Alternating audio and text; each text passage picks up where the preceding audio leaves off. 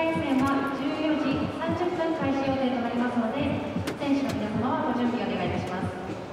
なお決勝トーナメント1回戦は選手の呼び出しをいたしませんので選手の皆様は各自モバイルフォンまたはコントローラー前のモニターでご確認お願いいたします。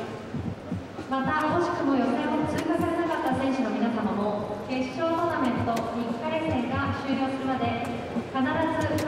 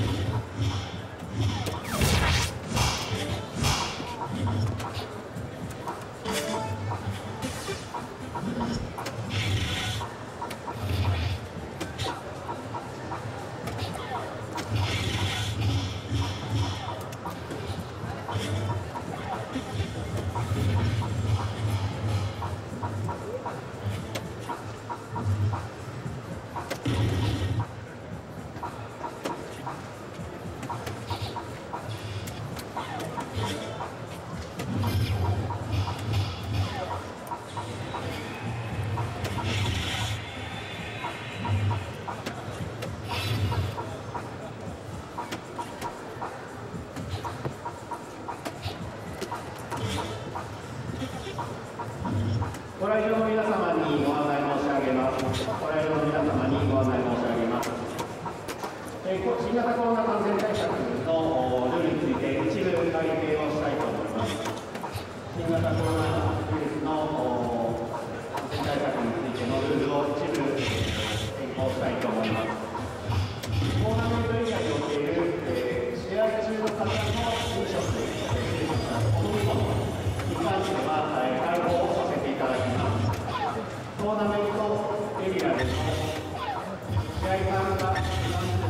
のお飲み物に関しては、